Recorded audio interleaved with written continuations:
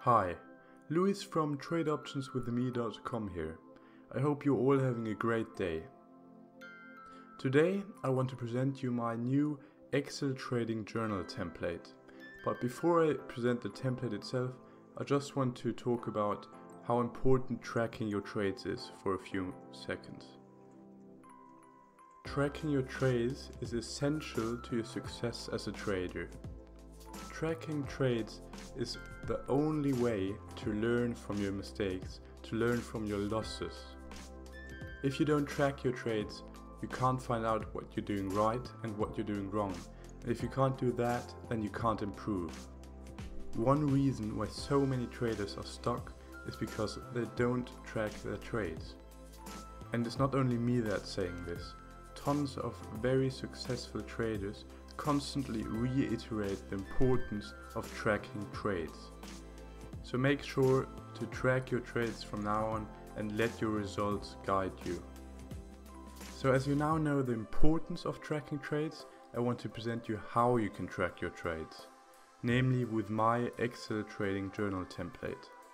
Obviously you could also create your own template, but from personal experience I can say that it is quite time consuming and it isn't the easiest thing in the world.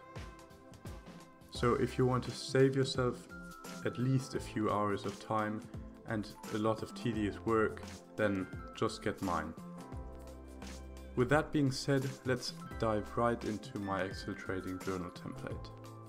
This is how my template looks like without any data inserted. So without any trades, this is how it looks. As you can see, there is space for tons and tons of trades and a lot of data can be tracked. I divided the top of this template into three different sections. The first section is the long setup section, the next one is the short setup section, and the last section is the options trades section. So basically what this means is this section, the long setup section, is for long trades, so for buying strategies, for buying stock for instance, but you can also use or enter forex trades, futures trades or any other types of trades. The short setup section is for short bias trading, so if you're shorting stocks or shorting other assets then the trades are entered here and the options trade section is for options trading. So if you're trading options, you can also track this here. Many trading journal programs actually don't allow you to enter options trades. So that's definitely an advantage. These sections are each divided into two subsections as well. For instance, the long setup section is divided into BO, which stands for breakout plays, and dip buy plays, which are two long strategies that I use. However, you can rename this however you want to rename it. It really doesn't matter. If you rename them here at the top, it will change for the entire spreadsheet. So the data that you have to enter manually after each trade is the entry date, the entry time, exit date, exit time, and then the time in the trade will be displayed automatically. Then you should also enter your entry price, exit price and size, so number of shares then your total P&L will be calculated automatically and your percentage gain or percentage loss will also be calculated automatically. Another thing that you have to enter is the commissions. If you want to enter them you could also leave them out but I do recommend entering them. Furthermore you should also enter the ticker symbol and last but not least you should enter some notes and lessons. And I really want to emphasize the importance of actually entering notes and lessons learned from your trades. If you just enter these stats, like the entry price, exit price, you will see your total PNL and you will see the numbers.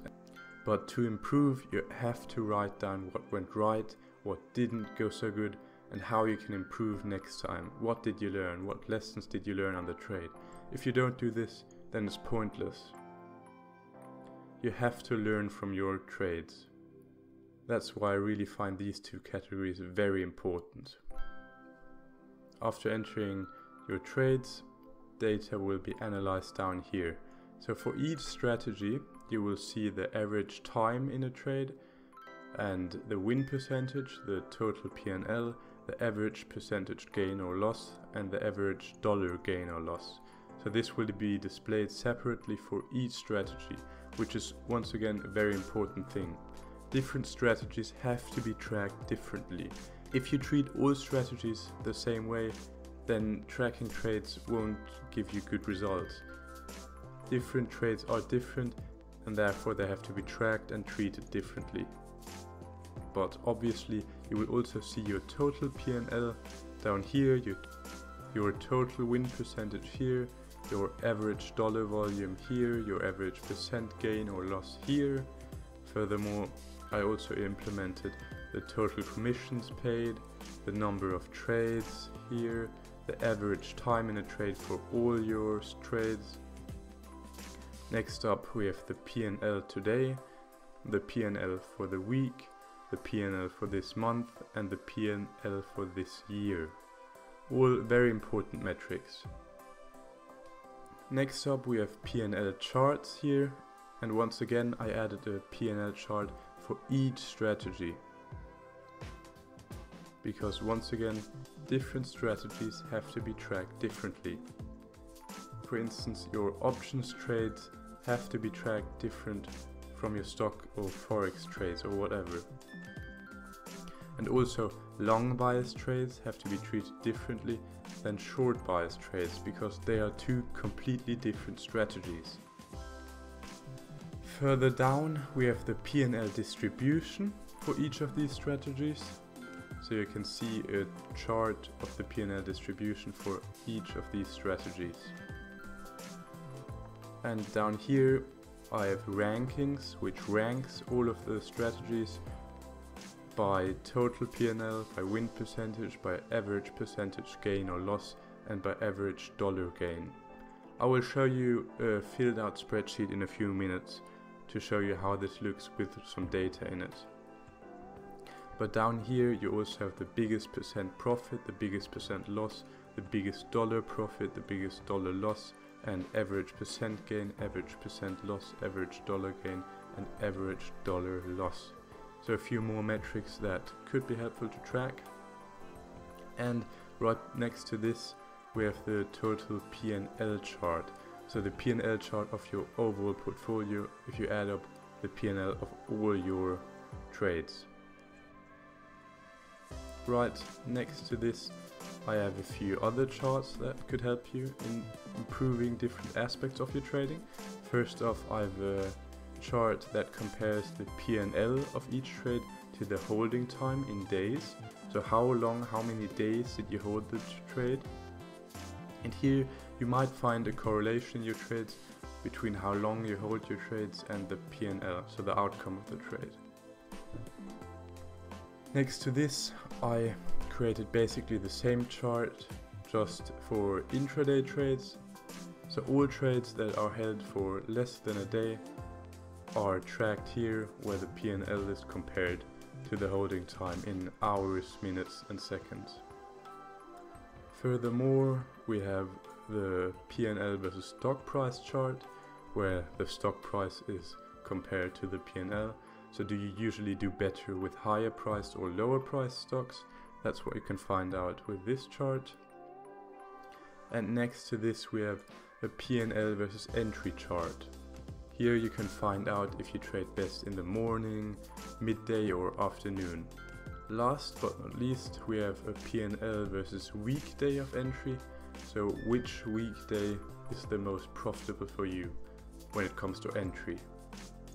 Now I want to show you my template with some data in it, so I just entered some sample trades. In this one I entered trades for the first long setup, for the first short setup and for short premium trades. And note, these are not real trades, I just made them up, these are not my trades or anyone else's trades. I just want to show you how my spreadsheet looks with some data in it. So as you can see here, here's the time that you were in the trade or that, that I theoretically was in this trade. how many days, how many minutes. Here you can see the P&L, here the percentage gain or loss. Here I entered what I could have learned if this trade would have been real. And if you scroll down, you can see the total P&L for this strategy with these trades would be almost $2,000 profit, which isn't bad. Then the average time in this trade would be around one and a half days and a few hours, or one day and a few hours. The win percentage was 59%. The average percentage gain was 11.5% and the average dollar gain was 111.21. All of this is also available for the other strategies. For instance, for the first short setup you can also see the win percentage, total PNL and the same goes for the options trades. So the total PNL of all the made up trades here is about $4,080 and the win percentage is 65.9% and I won't really show you all the other stats because it doesn't matter. You get the point. Down here you can see the different P&L graphs of the different strategies. And down here you can see the P&L distribution.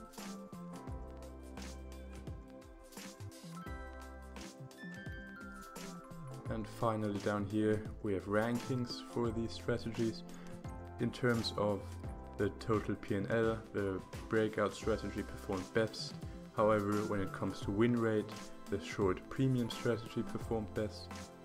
And when it comes to average percent gain these actually had a negative average percent gain whereas the breakout strategy had a positive percent gain and the biggest percent profit was 117% the biggest percent loss was 360% and so on the total P&L graph looks like this and here you can also see how these charts look with some actual data in them.